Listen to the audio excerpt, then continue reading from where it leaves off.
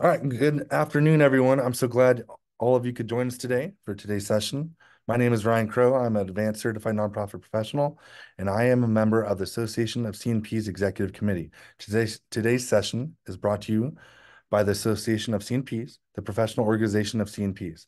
One way the association supports its members is by hosting sessions on topics that are on the minds of nonprofit professionals and CNP learners. For today's session, we're hosting Chad Barger, a fellow AC, advanced certified nonprofit professional. Chad is a master fundraising trainer. I can't wait to hear how to better work with our boards. Welcome and thank you very much, Chad. Take it away. Great. Thank you, Ryan. Um, thank you, Keely and the team. Um, great to be with you all today um, and really excited. Um, I've been a uh, CNP since uh, college, and that's getting to be too many years ago now. So that's uh, over 20. Um, and uh, when they came out with the ACNP, uh, was was happy to be uh, one of the first folks there, and um, excited and glad you all are are in community as well. So there we go. We are spotlighted for me, and I'm going to hop into the slides and just get right into it. I have um, this hour kind of jam packed with information on this uh, problem that many of us run into with how to get your board to fundraise. And um, doesn't matter what I'm presenting on. Um, at the end of the session, there's going to be a hand, and I'm going to get two questions. The first one is, which fundraising database should I use? Because um, we're all confused there and nobody's happy. And the second one is, how do I get my board to actually raise some money?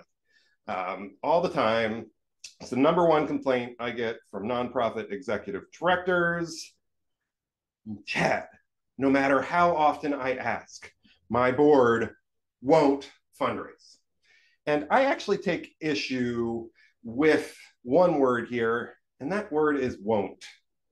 Because I find that it's not that they will not fundraise, it's that something's missing. It's one, two, or three things are actually missing. And those are what we're going to focus our time here of how can we address those? I'm going to give you practical tools to try to meet some of those needs. Because it's not that they will not fundraise, it's that we need to provide a little more expertise and things to help them. Well, hopefully your board does not look like this, um, but uh, we're going to try. I, I, use this slide in several presentations. I always say that the only thing really going well here is that they're really well hydrated. I don't know why they have that much water, but nobody wants to be there. You know, we're doing reports at meetings. So we're going to give you some tools to try to create a stronger board meeting as well. So um, the game plan, uh, talk about that real problem. What are those three things that we're lacking? And then I'm going to give you 12 tips to get your board to fundraise. Um, I always provide additional resources and we should have some times for questions and comments at the end. Um, I'll stick around. Feel free to use the chat feature um, and you can do it as we go along. Occasionally I'll take a question on the fly if it ties in really well but I think we are ready. Oh, first off, a little bit more. Who am I? Um, Ryan told you a little bit about me. I'm not going to go into it. You can read my bio page if you want, but I'm a career long fundraiser. It's all I've ever done. Served the top three organizations as a frontline fundraiser.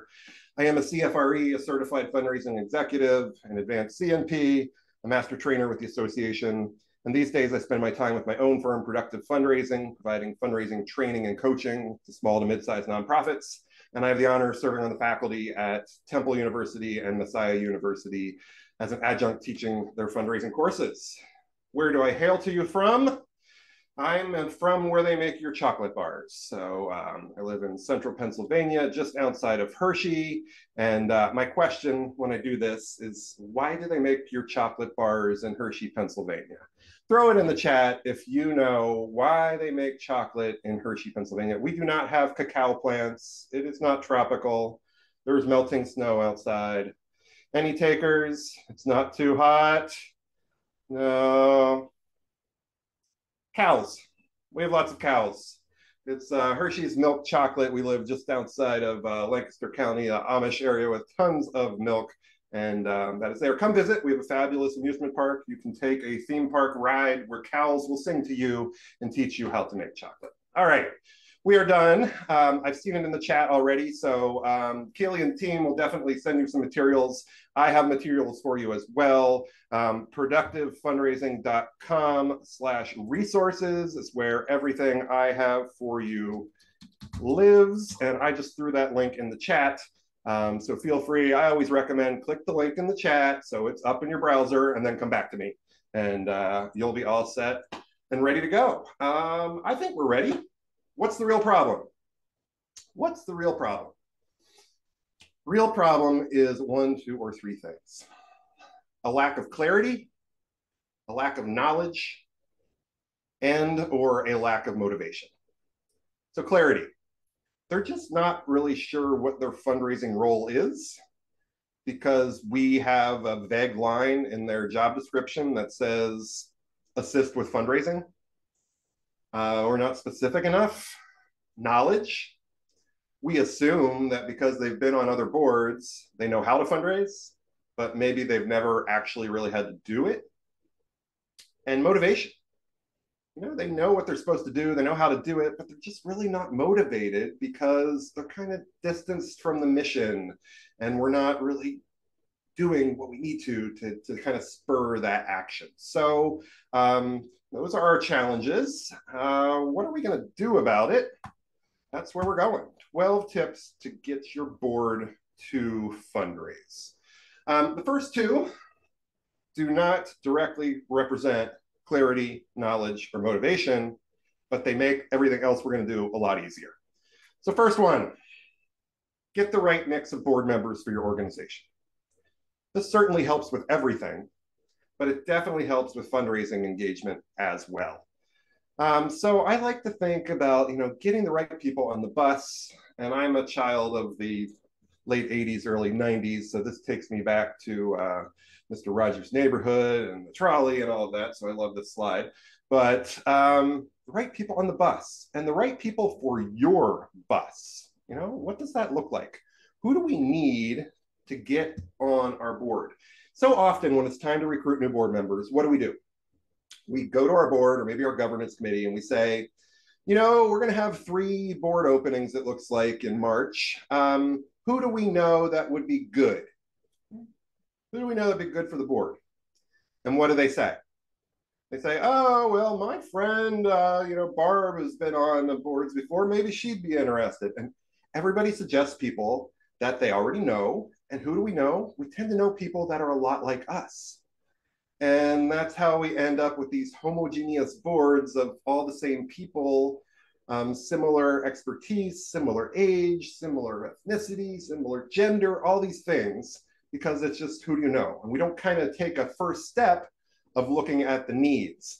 I saw it uh, come in the chat, like how do you define that? How do we figure that out? And that takes me to my first tool for all of you, which is a board composition matrix. All right, board composition matrix. So what does this look like? My apologies, it's small, but I have it for you on the resources page to grab. Uh, it's a spreadsheet. And going across the top columns are all your current directors. You just put them in there. And then going down on the rows are all of the things that are important to your organization. Um, so we have diversity things in here, we have experience, we have skill sets. So you can see gender, ethnicity, estimated age. I highly recommend you do estimated since you're guessing. Um, residents, you know, maybe we have a wide service area, so we need representation from different areas. Experience, number of years on the board. And then down there, it gets to applicable expertise. So we rank our current board, and then this tool shows us the gaps. So instead of saying, we are going to need a few new board members. Who do you all know? You say, we need a few new board members. Based on our board composition matrix, it looks like we could really use a few uh, females of non-Caucasian descent, under age 40, on the western side of our service area with expertise in human resources or finance. Who do you know? Then it's like, oh, okay, that sounds like my neighbor, you know, somebody else within our network, rather than just who are you most comfortable with? Who do you like? Which tends to be what who do you know instantly translates until we give some parameters. So board composition matrix, get the right people on the bus and there's a tool to help you do it. Next, be sure there's a way for good, rather for bad board members to go away. We've all had it. Maybe they're not bad board members, but you know, the wallflowers, the ones just along for the ride that tend to not do anything. You know, Pareto's principle, the 80 20 rules in full effect, 80 to 20% of our board doing 80% of the work. So let's just not be stuck with these people forever. Um, and you probably know where I'm going here. Yes, term limits.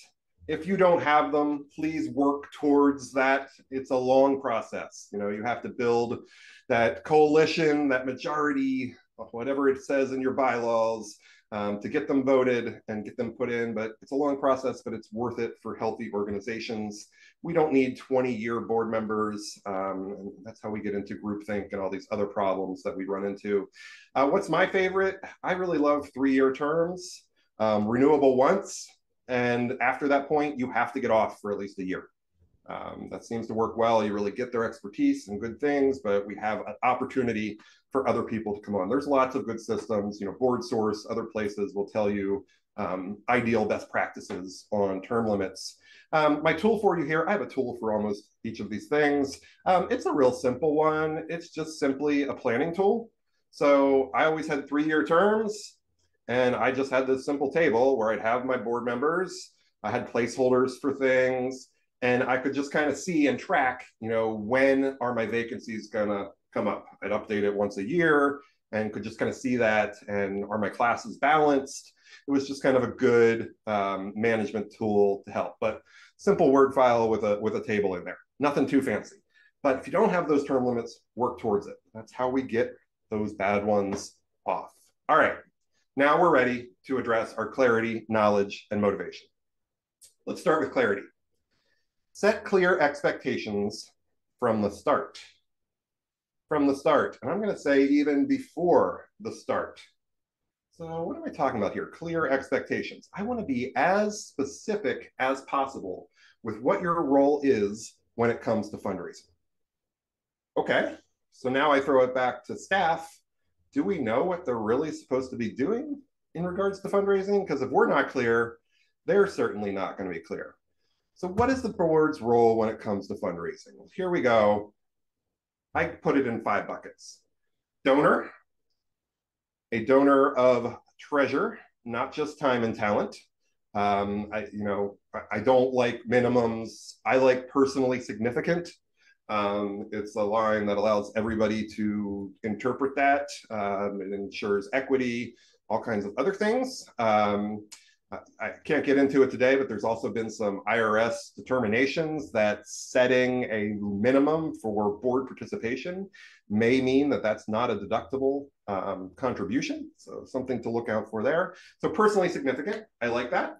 Um, we always talk about how, you know, if we can't check the box on the grant application that we have 100% board participation, then, you know, we're probably not going to get that grant, all of that. But for me, it's more how can we go out to our community asking for support if we don't have that internal buy in as well? So, donor. Next up, visionary leader. Yes, they are a visionary leader in regards to the whole organization through strategic planning, other pieces, but also when it comes to fundraising. And that means making fundraising a priority. You know, it's not just that afterthought, that thing we have to do. Um, it's the fundraising goal is not just the difference between all the other revenue streams and what we want to spend. It is realistic. It has modest growth, and we support it. There is capacity. There is funding. It takes money to raise money, and it's not going to just magically appear. So we make sure it is prioritized and that is there. Next is risk mitigator. A lot of people forget about this one, but fundraising is a little risky especially when we get into weird assets. So, what if someone wants to donate a house, um, a horse, cryptocurrency? Um, it happens. Forty percent of all crypto donors owners have made a crypto donation of thousand dollars or more. Um, it was a little more prevalent a few years ago, but do we are we even comfortable with that? You know, if we're an environmental organization, maybe we aren't. Have we had this conversation? Do we have policies in place like a gift acceptance policy so that we don't have to say no and you know turn away a donor we can just make the policy be the bad cop the role of the board member is simply to ask the what if questions and the do we have questions like have we properly registered with the IRS and our state to be able to solicit funds? These kind of questions. Just making sure those questions pop up. The last two are the ones they're kind of familiar with. Ambassador, going out from the organization to talk, to raise awareness, to ask for support in their personal and business networks, and supporter, supporting kind of the internal fundraising function. So serving on an events committee, um, maybe running around town to help staff pick up auction items, you know, whatever it is where we need those extra helping hands in our small, lean fundraising shops. So those are the roles. Um, when do they find out about this? Before they come on the board, right? Not once they get there, it's before. And the tool I always use here is a board job description.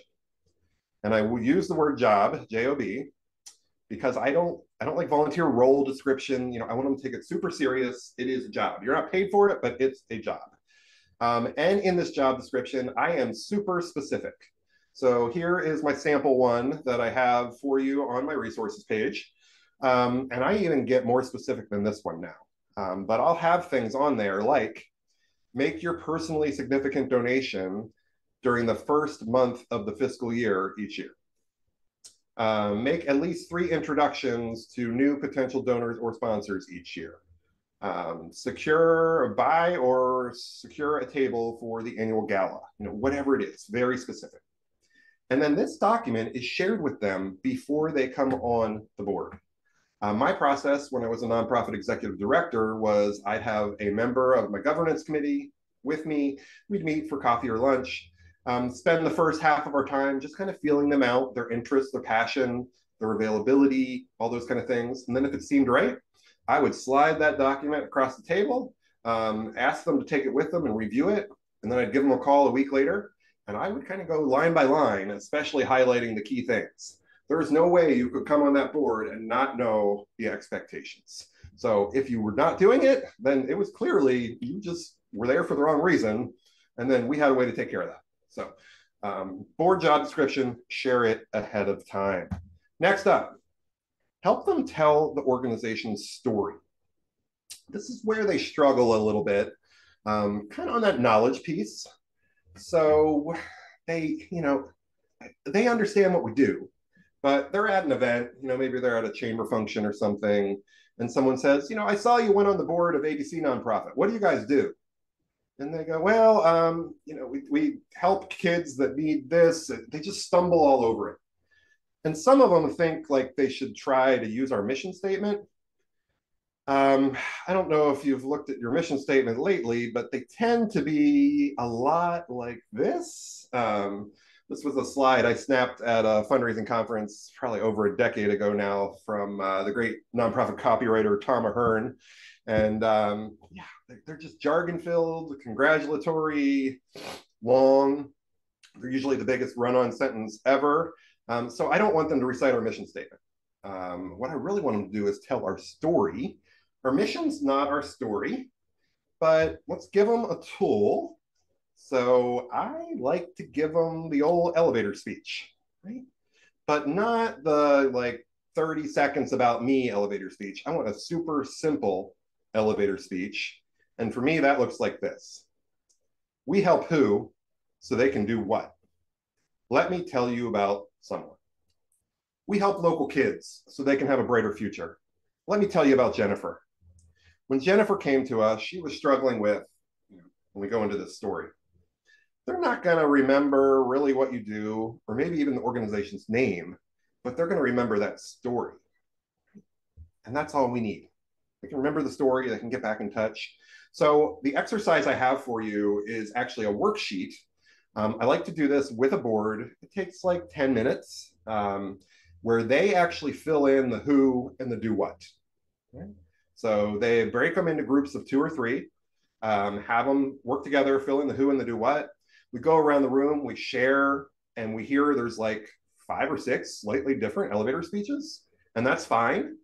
And we encourage them to craft the one, you know, really hone it in on why you're here. What part of our programming do you really care about? You don't have to encompass the whole mission of the organization. And then we take a couple minutes and we share some really great stories. Got to always be feeding those stories to the board. And feeding stories to the board helps with that last problem, motivation. Because when they're hearing about the mission all the time and the change that is happening because of the work we're doing, that's motivating and that helps them do lots of other things. So that tool is a super simple elevator speech worksheet. Uh, do I have an example on the, oh, here it is. Just yeah, simple like there. There's a space for them to write. We give them some examples. Um, you know, we, we it's it's there. Just uh, who and do what. Easy little activity. Also can help with a little bit of board bonding, especially if you have some new folks in there. I kind of call this not really the elevator speech anymore, but more, I call it the cheese tray speech because you're more likely to use this like you're at a function, you got a name tag on, and you're reaching for the last piece of pepper jack, and someone says, "Oh, I see you're with ABC nonprofit. What do you guys do?" Um, and then having this, well, we help local kids so they can have a brighter tomorrow. If you have a minute, I'll tell you the story about Jennifer and kind of go into it from there. All right. So get them comfortable talking. And I just touched on this. You know, we bring the mission to life for them. Yes, we can do that through stories. Um, that's one of our many tools. I'd like to infuse story in everything, every um, you know piece of communication. Um, it's always story first. Stories, uh, you know, statistics tell, but stories sell is the slogan that we often use. So stories are infused, but I also like to do it with a board through mission moments mission moments. This is putting the mission first and foremost in our board meetings. So um, I had really dry, I was a nonprofit ED for 10 years. I had really dry board meetings at first. Um, they were eight in the morning, um, almost an entirely corporate board. Everybody just wanted to get in, get business done, and get out of there. And uh, we get into kind of petty little quabbles over things like the formatting of the financial statements and, and other things until I infused mission moments. And our mission moments were simple. Um, this was a United Arts Fund. So we raised money for about uh, 30 different arts and cultural organizations in our region. And um, so instead of just talking about that, I actually had them come in. I had a beneficiary come in at the start of each board meeting and for five minutes talk about what the funding we provided allowed them to do that they wouldn't otherwise be able to do. And for a lot of them, it was focusing on things like educational outreach programs, you know, additional uh, intensives, and kind of behind the scene things that we, you know, I knew happened, but the board just really didn't see. And uh, it just changed the whole dynamic around the meeting. It went from, you know, I want to talk about this problem. I don't like these financials. What's going on here? To, wow, that was amazing I didn't know we actually did that. Um, that's really cool. How do we like raise more money so we can do more of that? Um, but the mission moment just changed the whole dynamic of the meeting to a much more uplifting and reminding people why we're really here. So even if you can't have beneficiaries or something like that come in, uh, clients, individuals, whatever you call the people or the, the items you serve, um, you know, at least telling a start, starting with a story, reminding us why we're here. Because most board meetings happen in you know, sterile rooms away from the mission if they're even on site. So we got to infuse that back into there. Number six, tell them what you need them to do monthly. Uh, this is my favorite tip for today because um, this was the one that really got my board to actually do stuff. Um, I had set up, you know, other things. The structure was already there. Um, so maybe this isn't your first one, but when you feel like the structure and the expectations and the roles are set, it might be time to activate this one. So um, I had this situation that I did a monthly board report.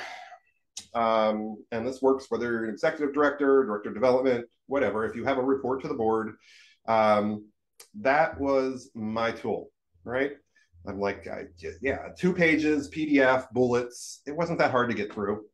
But I got the sense that they didn't really read it because show up at the board meeting and all the questions I'd get were things in the report.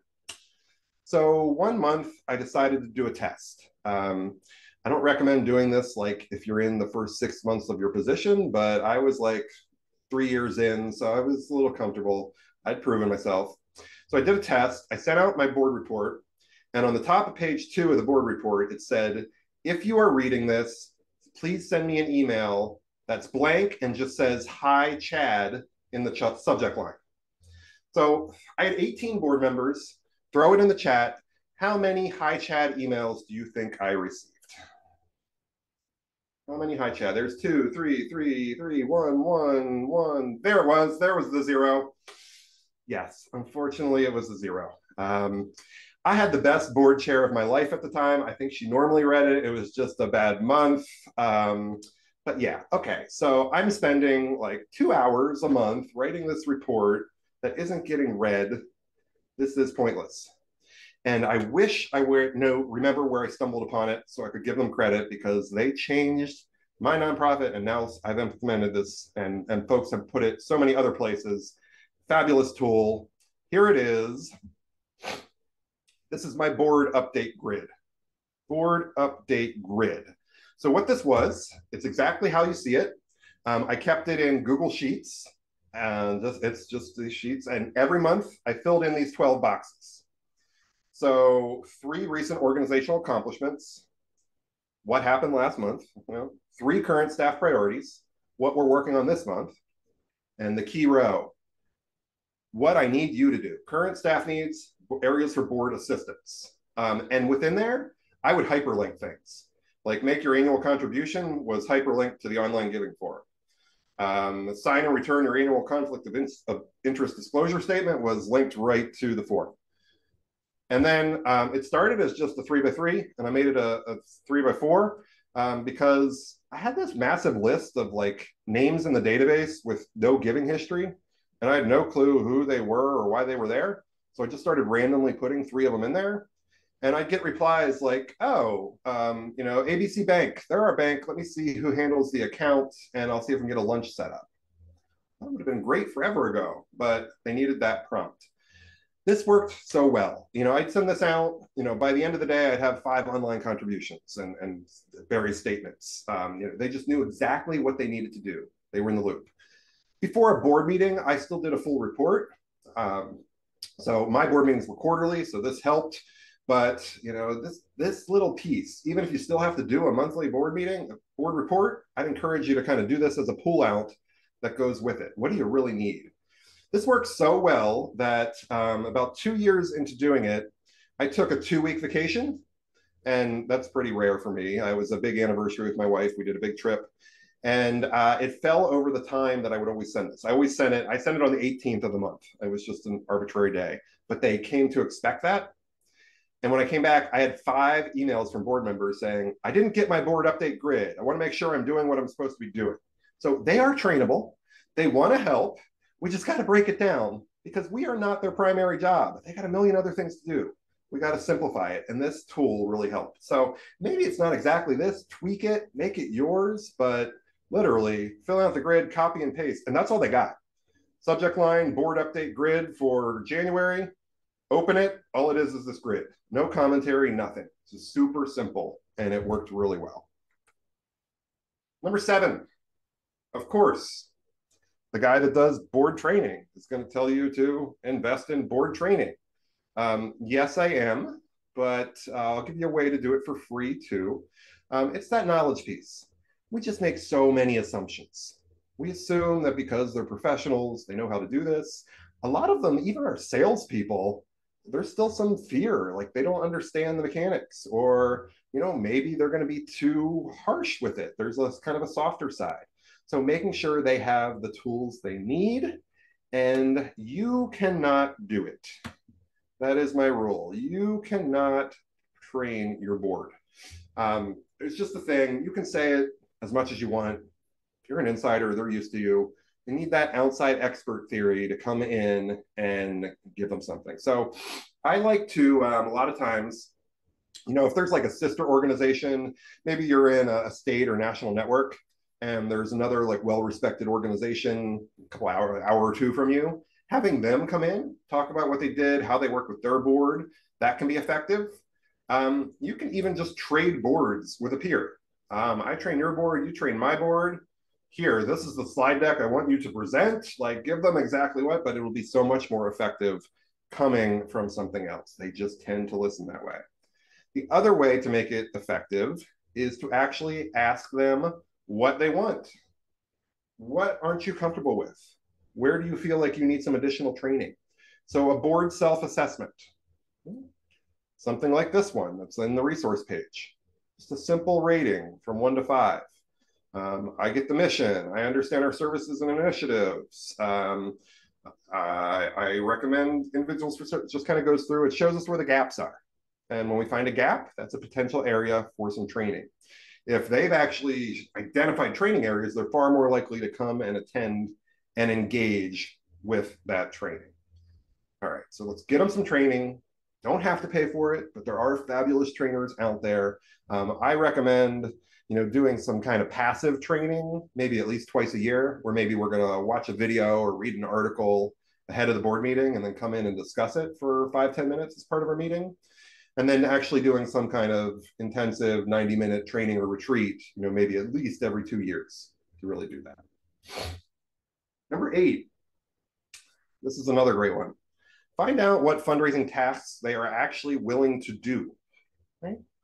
because we don't need everyone to do everything. Right? I don't need everybody to be a frontline solicitor, you know, recruiting sponsors. I need some to, to do that.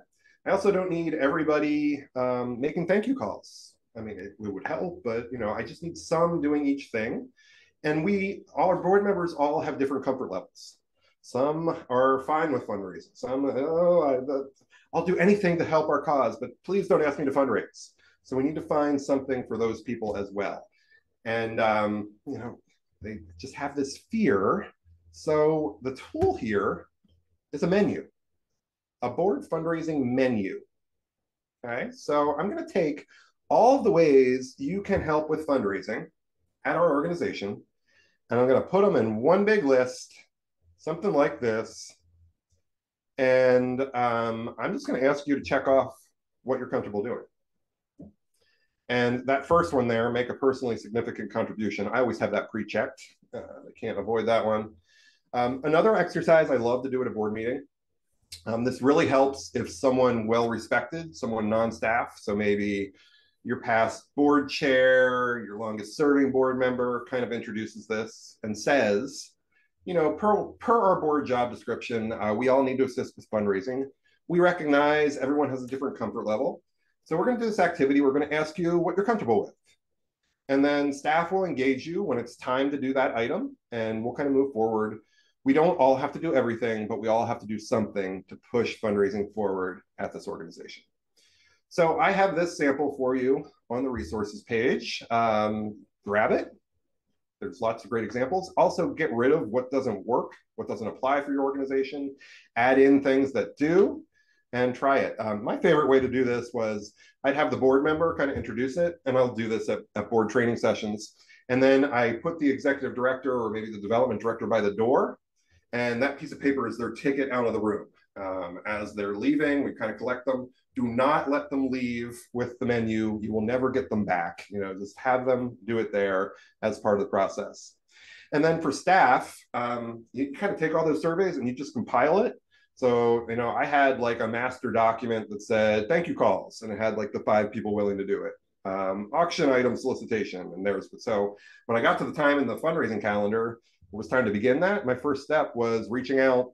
Hey, thanks again for back when we did our board fundraising menu for the year. You said you'd be willing to assist. It's time to get rolling with that. Um, you know, here's how our, our process is going to be for this year. You don't have to ask for volunteers and get the radio silence emails because you've already asked for them. So board fundraising menu, another great tool. Oh, and here's here's board fundraising menu uh, 201. So that was 101. Here's 201. Here's an example of how someone applied it. Um, this is Jennifer Hitz with Leg Up Farm in York, Pennsylvania. She says, I was in a training of yours a few years back and had my first exposure to your board fundraising menu each board member, uh, we took it, we took this, personalized it, and kick off each year with the board governance chair sending it out to each board member, and then follow up with a deadline at the first board meeting of the year. So that can work, but I still like to do it in person. It's been phenomenal. Gets members to think of ways they can contribute that they may not have even thought about. Each year, we fine tune it and even have a section at the top for general expectations, which reiterates some of the things in their job description, but also give them a couple of easy ways to support our organization that are minimal and non intimidating, i.e., add your board service to your LinkedIn profile, provide an auction basket. As the lead development staff, I then schedule a coffee or lunch meeting with every single board member in preferably the first three to four months of the year. We review their commitments, but also talk bigger picture. What do you like about our board? Where could we improve? What have you seen other organizations do that is really effective that we don't? I also always close with asking if they'd consider including us in their estate plans. I ask this casually, but pointedly, because each member is at a different stage in life. If one has really little kids that can only see daycare, mortgage bills, and college in their future, no big deal. It's a seed that's been planted. I usually get a quarter of them saying yes, and the others saying that they'd like to do so when they know their kids are in a good place. Something I can always follow up on in a few, in a few years. So for me, the fundraising menu is a conversation starter. Once the conversation is started, how far it goes is up to us. So that's taking this simple tool, using it as a way to engage with each board member. We already know exactly how they want to engage, just kind of boost that comfort and look, we even managed to squeeze in a legacy giving conversation in there at a non-confrontational time. So um, really like how Jennifer applied that tool. Okay, number nine. We're getting to wrap up and then we're gonna have time for your questions. I see some of them in there. I haven't gotten to all of them. We'll try to do that. Um, start them with stewardship. So no matter what, you're still going to have those fundraising averse people. Um, we're going to get them to check off a couple things on the menu, but the easiest one for them is to start them with stewardship. So the board fundraising calls are incredibly valuable. Um, if you're not doing them, I highly recommend it. If you have a board that is resistant, here is the tool to get them to do them.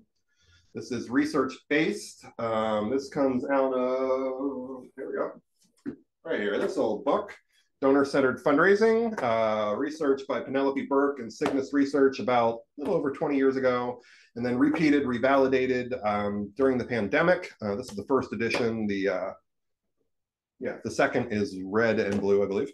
Um, but great book, lots of good examples. Highly recommend it. Um, but research study, 40,000 households across the US and Canada looking at what do donors want to keep giving. And one of the things they found that is if you make a prompt personal thank you call from a board member to a donor, they tend to give 39% more than the control group.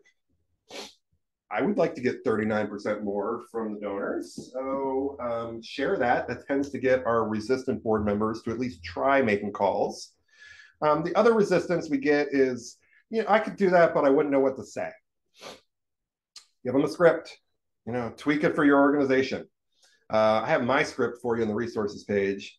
Um, mine's a little playful. Um, I have these two pauses built into it. And when the person pauses, the donor thinks that they're about to ask them for a bigger gift. Um, say, you know, uh, hi, uh, hi, Ryan. This is Chad with ABC Nonprofit, calling today to thank you for your recent donation. It means so much, and we wanted to tell you personally how grateful we are. They're now expecting me to say, and we wanted to see if you'd be interested in joining our monthly giving society to support our mission on, you know, they're ready for the upsell. So when I just pause and don't say anything, they tend to say, oh, well, well, well, thank you. So they thank us for thanking them, and we kind of go on to have this nice little connection and conversation.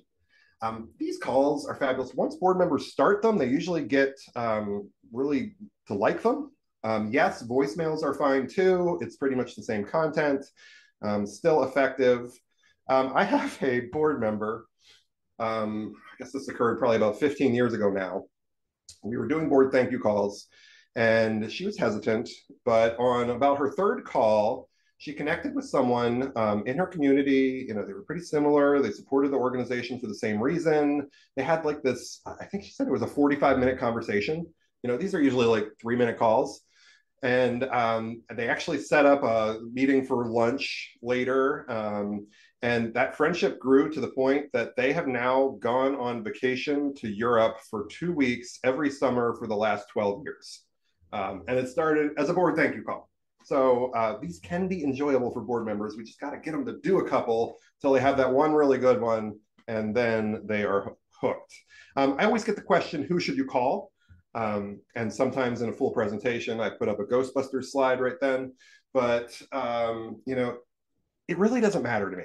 Um, everybody wants to call like your $500 plus donors. And I get that.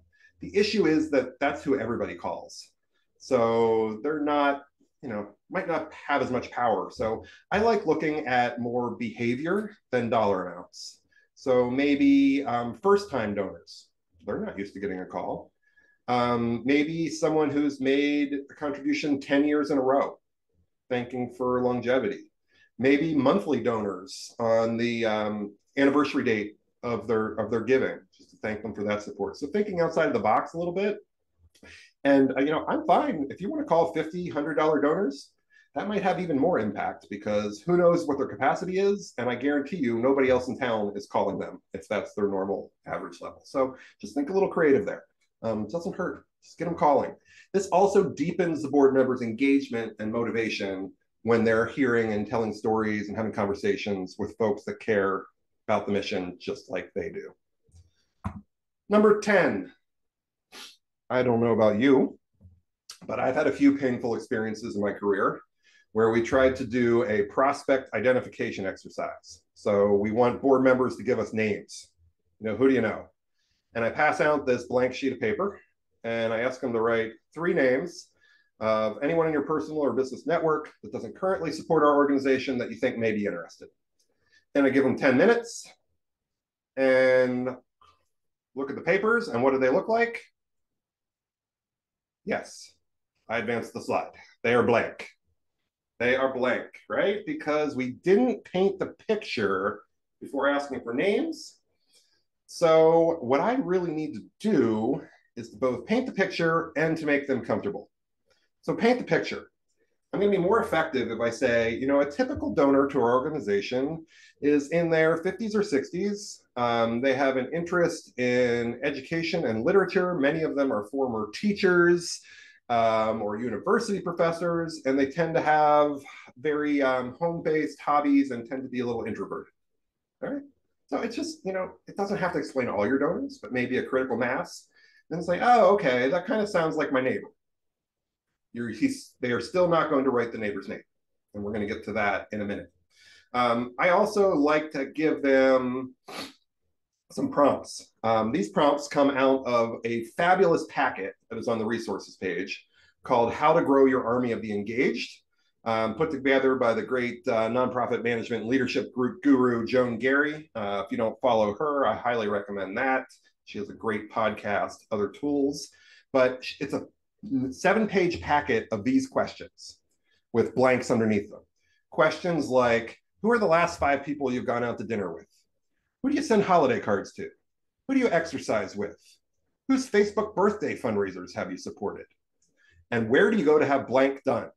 uh, car, nails, hair, dog, you know, all those local service providers, right? So just things to get their mind going because the, the instant response is, oh, I don't know anybody.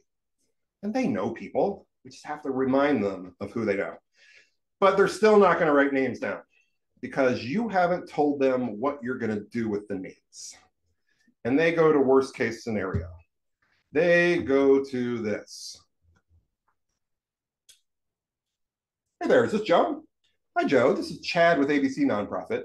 Um, our board member, Karen, yesterday during a prospect identification exercise, wrote down your name as someone capable of giving us a $500 donation. May I please have your credit card number? Right? That, that's what they just envision happening. And no, it would never happen, but you also didn't tell them what is going to happen. So I like to just kind of paint that picture. Um, one of my favorite things to always do was just to invite them to something. So these names, we're going to take them. We're going to invite them to a business networking reception, maybe five to seven on a weeknight, little wine and cheese if we can do that. And in the middle, we're going to talk about what the organization does for 10 minutes.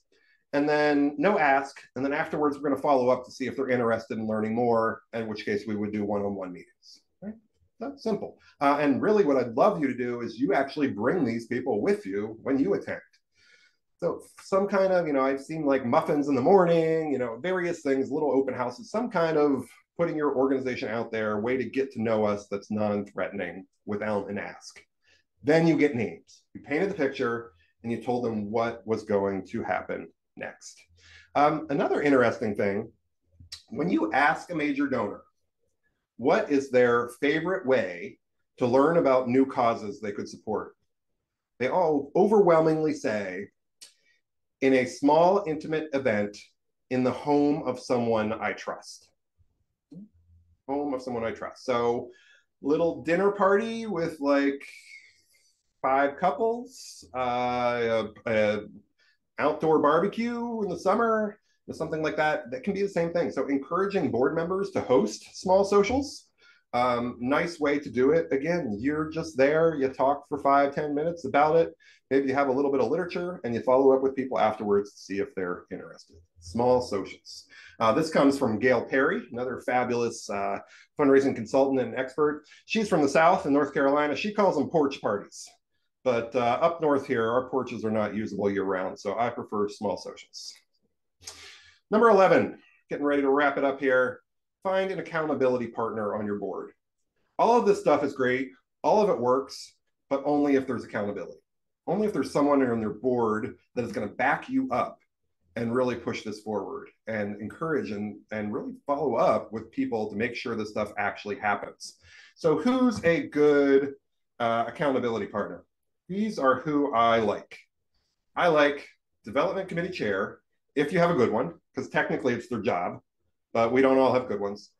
Um, immediate past board chair works really well. Like everybody knows them, they have some rapport with folks. Governance committee chair can also work. Um, and sometimes longest serving board member, just the person that's respected. And they're just going to say, you know, this is something we need to do for the organization. I wasn't completely comfortable when I first started doing it, but it's made a huge impact. We need to all step forward.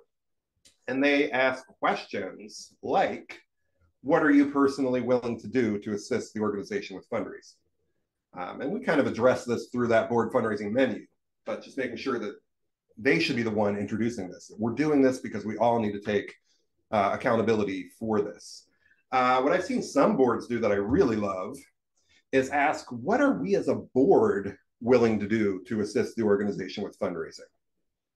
Um, and some have taken on goals like, we're going to raise $50,000 in new revenue this year. We're going to let staff focus on retaining our current and doing normal acquisition channels, events, all of that. And we're going to focus on new money. Because if we were able to raise 50,000 new revenue, you know, that's almost enough for a position. We could add additional fundraising capacity. We could launch that new program we want to do, finally replace the HVAC, you know, whatever it is. Um, some kind of special project there, taking some accountability. And then finally, what happens when someone doesn't do it? How are we going to hold each other accountable? Well, if I know I'm going to get a call from Keely when I don't make my board fundraising calls, I'm going to be more likely to make my calls. Um, and that call is not, um, hey, Chad, why didn't you make your calls? Everybody else did it. You're the only one that didn't get. No, it's, hey, Chad, um, I was talking to staff and um, I, I, heard that they hadn't heard about your calls for the last two months. Is there anything I can do to help you with those? That's the question. Is there anything I can do to help you with those? Um, that not a, not accusatory. It's just there. They'll reply, "Oh, I've just been busy. I'll take care of that for you tomorrow." But if no one, no one's going to call and nothing's going to happen, and I'm not motivated, probably not going to get done. Number 12, finally, don't fester, right? Do what I just did. So, so often, you know, our board's not engaged. We send out an email, we get no replies. We're just sitting at our desk saying, oh, why, why? I need more help. I need them to do things. I need to not have to email them three times. And instead of doing that, just pick up the phone, right? I love to just pick up the phone, give them a call, and do that same thing I just said. You know, hey, what can I do to help you with this project, with this task? that question is really powerful for getting people to move to action. So don't waste that time sitting there festering. Just engage with them. Keep trying different channels. Go from email to phone. To showing up at their favorite coffee shop in the morning where you know they stop every time and happen to being in line at the same time, you know, whatever it takes, but let's engage these board members and go from there. Pick up the phone, give them a call. Those are my ways to address clarity, knowledge, and motivation, which are our three big barriers to a board that is engaged and excited to participate in that fundraising process. Uh, I'm going to wrap through a couple additional resources for you excuse me, and then I'll be happy to take your questions. Um, I always love to give a book recommendation. Um, I work with a lot of libraries, so um, they've rubbed off on me. So I always do a, a book recommendation. Um, this is Transform Your Board into a Fundraising of Force, The Essentials You Need to Know by Kay Sprinkle Grace. Um, if you've had the pleasure of seeing Kay, um, she's been doing what I do for probably 40 years, and it's just a ball of energy and um, great presentation. This is a thin book, a quick read. No, I don't see it. Must have lent out my copy and it didn't come back. But uh, need to replace uh, transform your board on the on the uh, the bookshelf. So that's linked up. Um, I go by fundraiser Chad on all the social channels. Um, most active on Facebook and LinkedIn. So if you want to connect, I'm always sharing fundraising tips, um, upcoming webinars, lots of good stuff. Um, speaking of webinars, I do a free monthly webinar. Um, so this month, uh, next week, we are doing annual reports, simplifying the process for maximum donor engagement. Um, comes down to a story I had a conversation with a donor about why she hates nonprofit annual reports and uh, took that information to, to make it something which is actually easier for us to do. So we're going to do things like get rid of the list of names, shorten it, move that letter from the executive director somewhere way deep, add and infuse stories, look at different ways, different formats um, that we can just freshen this up and let it be a much more engaging tool. So that is coming up. And uh, there's more information on how to engage or work with me on the resources page. And with that, I'm just going to go to your questions. So uh, I'm going to come to Big Chad here and uh, we'll pop in the chat. So if you have a question that uh, you're thinking of that you haven't already put in the chat, go ahead and type those in. Um, in the meantime, I'm going to scroll up to the top and see if I missed anything while you enter anything new. Um, lots of questions on where the resources. The link is in the chat several times. So just go over there and grab that. Um, okay. All right, we're liking the board composition matrix, great. Um, in human services or other fields, the voice of lived experience is critical. We have found that specific giving requirements, timing of gifts, by a table requirements do not support inclusive policies to engage with board members of all backgrounds, socioeconomic experiences. Do you have any guidance on how to ensure the composition of board job descriptions are inclusive, but also supports giving? Yeah, um, I definitely run into this. I work with a few organizations that way. Um, some of them have kind of created tiers. Um, so maybe one tier is like direct personal support. Uh, one tier is like asking other people or maybe just spreading news or awareness or advocacy. So they kind of include things in there and they'll ask people um, to select at least two things from each category. Um, so there's a way that everybody can do that. So they're still in there, but they're not the only things in there um, and they kind of break it into themes a little bit. I know that's a little vague, um, but yeah, definitely wanting to address that. Um, or, you know, they're on the master list, like I was, uh, and we just introduce it as stating, we understand that these are not all, not all of these items are appropriate for everyone. Um, our expectation is that maybe you'd be able to find five to 10 things on this list of 40 that you'd be comfortable doing or able to do. Um, so just kind of referencing that equity situation right from the beginning. So fabulous question. Should board members, uh, well, it's right over my wire. Should board members meet, be able to meet all the roles and fulfill all the tasks on the job description? For example, what if they're a visionary leader but not a financial donor? What if they attend uh, all events but never invite guests or help secure gifts? So yeah, I would just put your mission critical things on the job description. Uh, what do they all absolutely have to do? Um, and then you could even put on the job description, um, you know, agree to um, complete five to 10 tasks off our board fundraising menu. And maybe we just attach that to the job description if you want to keep it more flexible. um, and need to be able to uh, to meet people where they're at there. Any tips for training or encouraging board members to invite people to events and become uh, community connectors? That's tough. I kind of go into introversion, extroversion. Um, I just like to give them tools. So I'll do things like actually draft an email. So, like, here's an email that all you have to do is insert your name and maybe one little way you know the person. It's already there, inviting them to this free event. So, copy paste, just do it. Um, so I simplify it.